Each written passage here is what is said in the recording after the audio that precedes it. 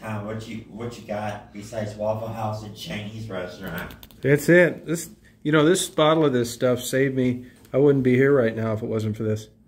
Put a bottle of this in my radiator. Drove 1,210 miles.